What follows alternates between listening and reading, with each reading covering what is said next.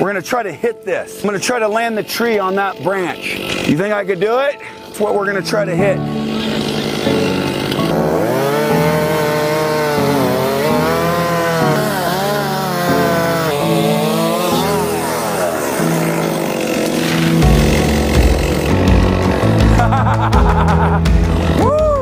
That's the product of living in Oregon right there. I heated my house for 15 years with firewood, baby. This cedar has some potential, man. Like, I'm excited to, to, to limb this thing, process it. That is beautiful wood. Guys, ever drop an old cedar log? We're gonna get a mantle going right now. I tried to get a header. Do you know how expensive lumber is? Let's reclaim this standing dead cedar that's no longer standing. It's gonna be a mantle. Here we go. The steps I took to process this log into a mantle are actually quite simple. I'm just using some rudimentary techniques. I'm using a 2x4 as my edge guide to create my first flat spot so that I don't wander within this log. I don't have a mill, so I'm just going old school and using a chainsaw. After I do this first initial cut, I'll rotate the log, I'll put that 2x4 or edge guide back onto the tree by using a screw and my screw gun and I'll use that edge guide again to create a second flat spot at a 90 degree angle. Now during this step, I'm not going to be perfect. I got to remove the bark. I got to get this thing ready to finish it. Now remember, this is rough construction. A chainsaw is not what you use for finished carpentry. I use my draw knife, I use some tools just to remove that bark, and the beauty of this tree really starts to show itself. I had so much fun. Here are the two little legs that are gonna hold up the main part of the mantle and frame out that fireplace.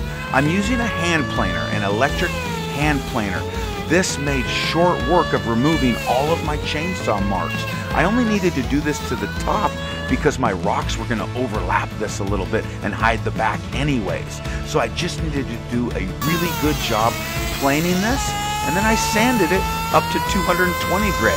I also used my 50 grit metal sanding disc on the front to remove that cambium layer and I also squared off the edges of this tree. It's starting to resemble a lodge mantle. I can't wait to show you how we install this. You know, what we did is we used some strapping. Let me show you. The strapping is what you use for like earthquake and hurricane ties and building construction. And I just repurposed those to be able to tie in right here into this lumber. Easy one here. Easy, easy I got. How about your way a little bit, Don? A little bit your way. To the right. Right there. Okay, hold it, hold it on. Got it? Got it. With the help of my brother and biker Big Don, I had a really easy time installing this mantle. Teamwork makes the dream work, and that's exactly what we did. We used those straps to attach it to any wood we could find, but then we also had some concrete or brick that we had to adhere to. So I went ahead and used a masonry bit to pre-drill, and then we used concrete screws to attach it. Now we made sure and we ran a lot of screws, plus we were gonna lock this in with those legs that supported it, as well as all the rocks and the adhesive that we're using right here to attach everything so it's gonna last for years and years to come. Wow, we had a good time doing this. Check it out.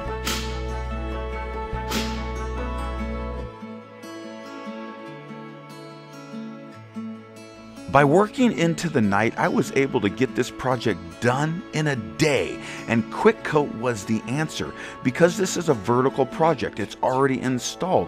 It's gonna have gravity fight that epoxy, so I'm using Quick Coat. Our Stone Coat Quick Coat made this project possible to get done in a day because it's not continually self-leveling. I'm able to brush that on. I did two coats and I used a brush and my gloved hands to apply it.